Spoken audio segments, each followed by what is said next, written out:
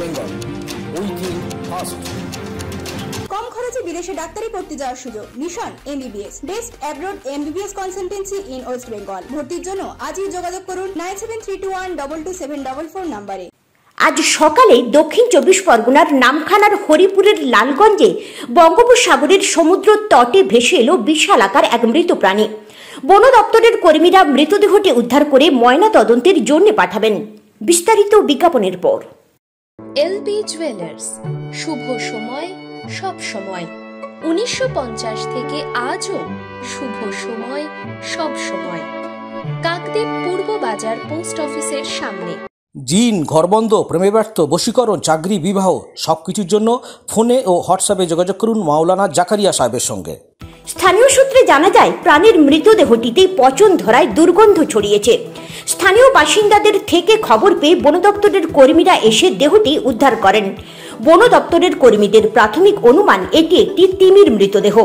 দৈর্ঘ্য প্রায় বারো ফুটেরও বেশি। কোনো কারণে প্রাণীটি সমুদ্রে মারা গিয়েছে। পরে জোয়ারের টানে দেহটি সমুদ্র তটে ভেসে এসেছে। দেহটির ময়না তদন্ত করবে বন দপ্তর। আমাদের দক্ষিণ হরিপুরে একেবারে বালিচাতে বিশাল একটা মাছ, চল্লিশ ফুট লম্বা হবে। তিমি মাছ বলে জানা যাচ্ছে। ওরা মাছটা কিন্তু মানে আহত কোথায় হয়েছে হয়তো হসপিটালে হোক বা কি জাহাজে ধাক্কা পাক অসুস্থ হবে ওরা বালিচাতে উঠেছে। আমরা সকালে খবর পেয়ে আমরা গিয়ে দেখলাম মাছটা বিশাল আকৃতি হবে অবস্থা। কত ফুট হবে প্রায় চল্লিশ ফুট আর চার ফুট হাইট কখন উঠেছে মনে হয় মাছটা? রাত্রে উঠেছে আমরা সকালে জানতে পেরে আমরা দেখতে গেছিলাম এই খবর। তো তোমাদের এখানটা রেঞ্জার অফিসে খবর দেওয়া হয়েছে? রেঞ্জার অফিসে ছেলেরা কে খবর দিয়েছে আর তারা কি ব্যবস্থা নেবে আমি সেটা ঠিক মতন বলতে পারছি না। দুর্গন্ধ আমরা গ্রামের মানুষ পাচ্ছি পূর্বের হাওয়ায় এই মধ্যে আমি বলছি। পাচ্ছিল হ্যাঁ হ্যাঁ ওটা মাদি মাছ ওর পেটে আরও বাচ্চা আছে। ওটা মাদি মাছ যেটা ভাবা যাচ্ছে।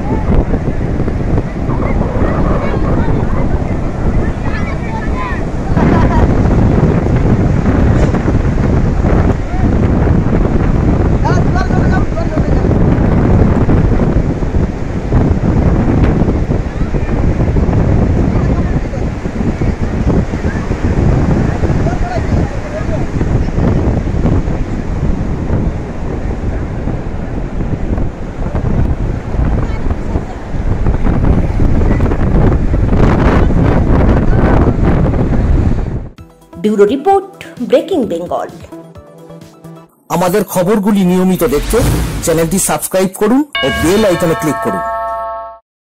The Sorarhat nursing home Sorarhat Benepara.